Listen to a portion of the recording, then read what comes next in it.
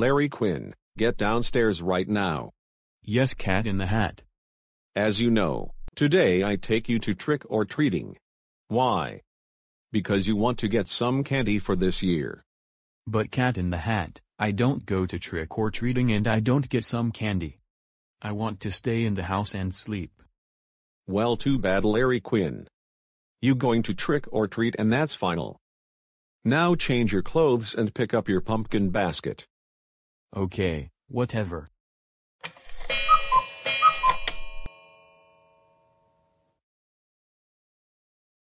How is this?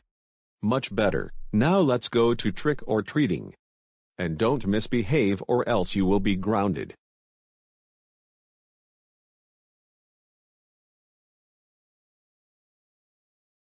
Cat in the Hat, why there is a line in front of us. Larry Quinn, just wait for that guy giving some candy to them. No. I not wait for this guy giving some candy to them. Oh my gosh. Larry Quinn. I cannot believe you doing like that. That's it.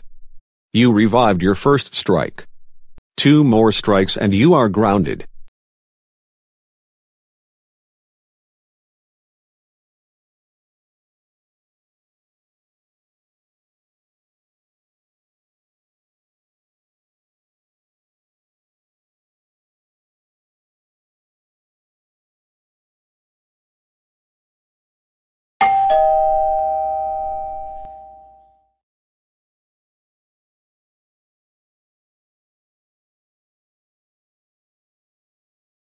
Well Larry Quinn, I think on one there, let's go another house for trick or treating.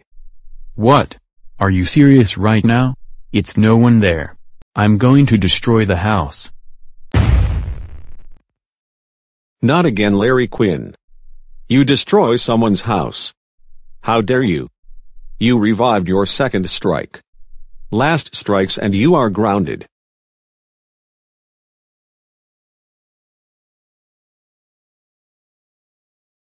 Hey Cat in the Hat, I cannot believe Larry Quinn destroyed my house for I was not here at my house. You need to pay $5,000 to repair my house. Looking like that? I had to pay $5,000 FOR him thanks to you.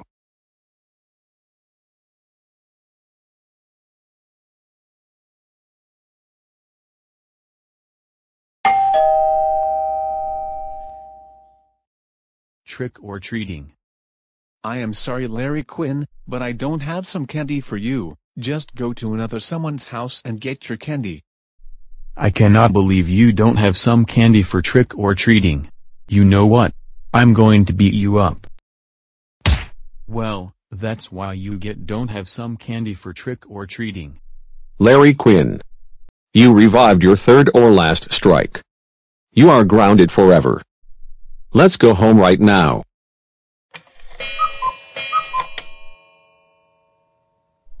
Now go downstairs to the basement right now and sleep on the floor.